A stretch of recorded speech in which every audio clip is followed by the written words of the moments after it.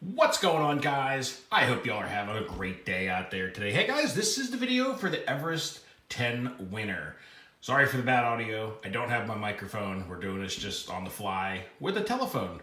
So we're going to go ahead and get things set up here and get this thing underway. I won't bore you with everything, but I'm gonna go ahead and get the link to the video and get the YouTube comment picker down. And as soon as we're ready to go, we'll get this thing under roll.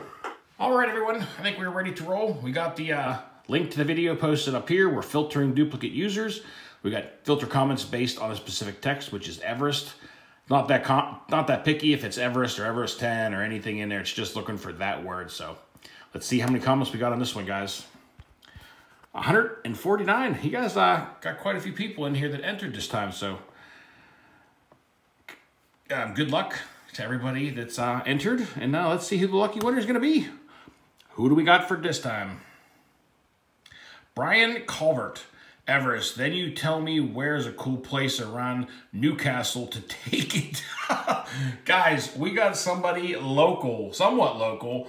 Um, Brian Calvert, um, congratulations, buddy. You won the Everest 10. And um, by the sounds of it, I might be able to meet up with you.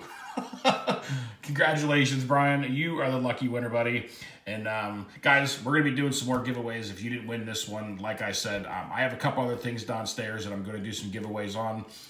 And we are going to do, I believe, a big one. And we're going to do it on a Kraton 6S. Um, it's going to be your choice. It's going to be on a EXB version or the RTR with an M2C Racing chassis. So I think we are going to be doing a giveaway here at some point soon. So stay tuned for that one, guys. But I hope you enjoyed it, and congratulations, Brian. I will uh, have my link or my email down in the description. Go ahead and shoot me an email, buddy, and we will get in contact and get the Everest 10 out to you. But guys, that's going to do it. So until next time, y'all be safe. Be careful out there. Peace out, everybody.